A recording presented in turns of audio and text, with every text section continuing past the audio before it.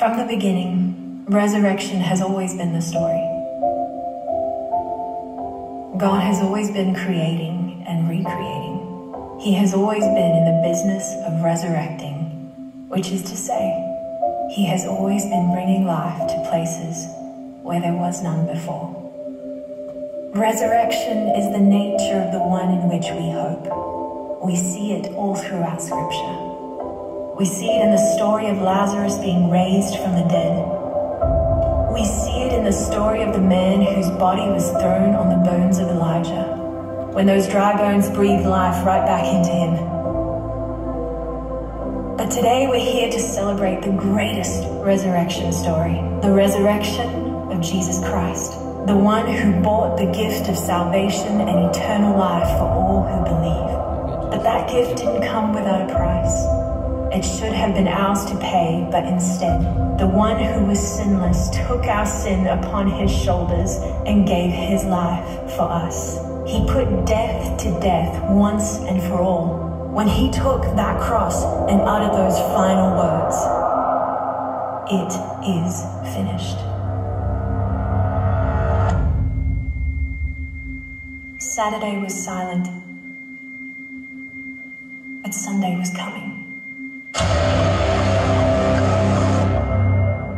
And Jesus didn't stay in that tomb. On Sunday, Christ rose from the dead.